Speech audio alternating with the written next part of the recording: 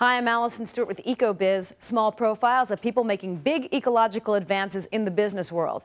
They say necessity is the mother of invention, and that couldn't be more true than it is for the couple you're about to meet. They were farming and losing money till they found a surprising eco-friendly crop. Now their business is going through the roof, literally. Ed Snodgrass comes from a long line of farmers. I grew up here, just a half a mile up the road and uh, did traditional farming with my dad, kind of corn, soybeans, dairy cows. But Ed says traditional commodity farming nearly put him and his wife Lucy in the poorhouse. I had to stop farming the farm traditionally and go work off the farm to pay down the debt. That was in the 1980s. Ironically, it was one of Ed's off the farm jobs that led him back to farming 14 years later.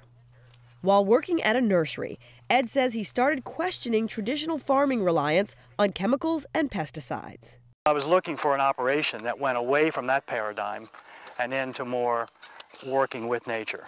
At the same time, Ed says the idea of green roofs caught his attention.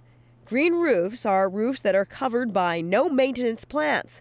They help cool urban environments, help insulate rooftops, and slow stormwater runoff a green roof for our market uh, is grown on top of buildings in very, very thin, mostly mineral media. And I think that it's an entire engineered system. It's not really an ecosystem, it's an engineered system. While attending a green roof conference, Ed says he realized this was his ticket back into farming. There were really no nurserymen there. They were all roofers and architects and engineers. And that kind of dawned on me that, well, if there's no nurserymen here, they're it's not a green roof without the green. Someone has to do the green. So in 1998, Ed and Lucy turned their farm into a nursery. I have had a strong interest also in the environment and in just in progressive public policy. And so uh, when Ed wanted to come back to the farm and really make a go of it in some kind of sustainable way, that seemed something very interesting and something I really wanted to support. Today, their Emory Knoll Farm is the only nursery in the country that grows plants exclusively for the green roof market. We have a few uh, amenities up here. One is a solar electric array. Thanks to the engineering skills of partner John Shepley, Emory Knoll Farms aims to eventually become entirely carbon neutral, using only solar and biodiesel for their power needs.